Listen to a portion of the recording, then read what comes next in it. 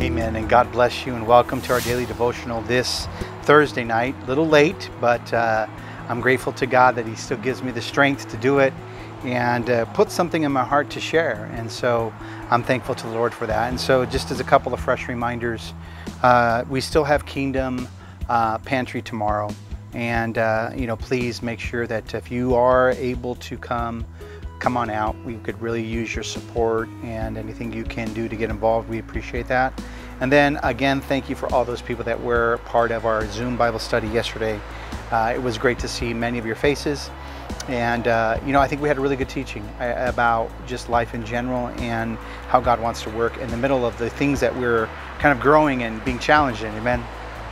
Uh, so, and then again on Sunday with new orders that are coming in from LA County, uh, we've already been uh, honoring the mask mandate, so uh, it's something that we have been doing.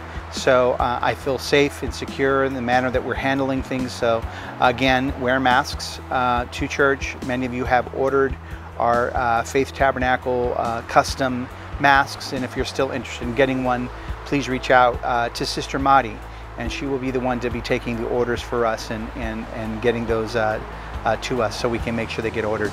Uh, with that, tonight we're going to jump into our daily devotional, and it's a scripture that we've read in the last few weeks. It's Philippians chapter 3, verse number 8. It reads as follows, and this is the NIV. It says, "What is more, I what is more, I consider everything a loss because of the surpassing worth of knowing Christ Jesus my Lord, for whose sake I have lost, I have lost all things. I consider them garbage, that I may gain Christ." And so you know, I believe as people we value, we have values, and those are are those things are the most important things um, to us, and also again to to Paul here in describing it. And I believe a person's values is what we hold true to, and what we think, what we do, what we say, uh, what we're willing to um, to engage in. These are things that we um, our values hold much of that. And so, you know, every day we're confronted with choices. And I think those choices challenge us, uh, us um, what we're going to reveal through those values and what we're going to rest on as well.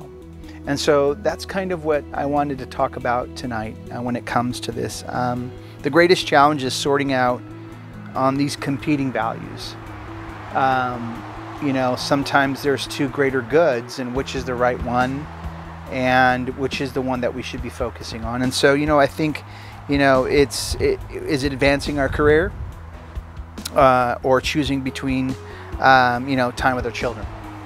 You know, maybe it's it's work more, you know, uh, uh, then it's important of worship unto the Lord. You know, eh, maybe we do, our hobbies are more valuable to us than times that we spend with our spouses, right?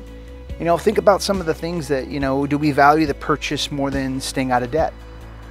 You know, instead of what it does to our families by being in debt and struggling and, and having to make those monthly obligations, you know, staying out of debt so that, that we can live and be able to be um, a bit more stable in our finances in our life you know and so do we take momentary pleasures uh, because of the fact that it's what we want for our life in the moment rather than what's the greater purpose for our life?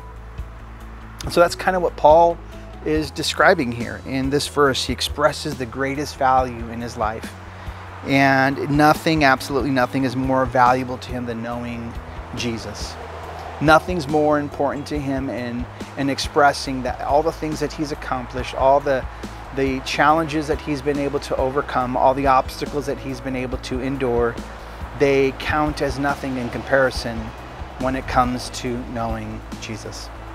And so, you know, he begins to describe something that I think each and every single one of us have been challenged with in our life.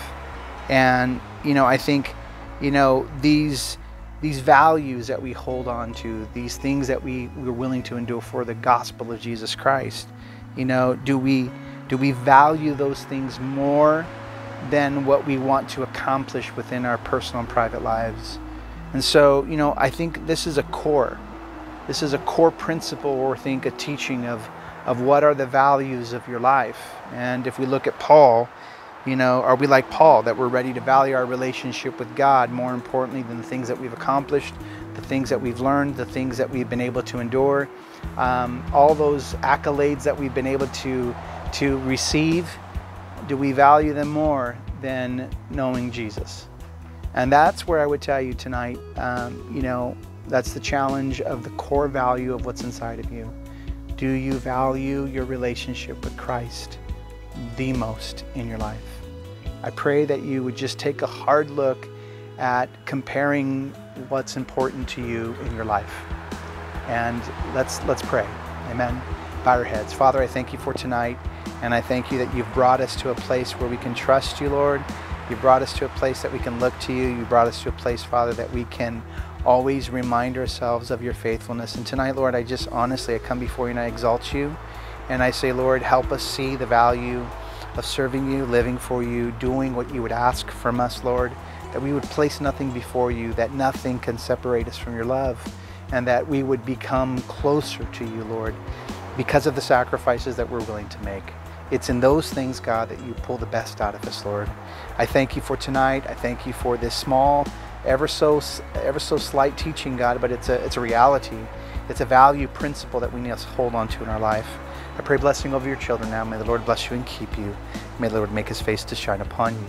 May the Lord be gracious unto you. May the Lord turn his face towards you and may he give you peace throughout this week.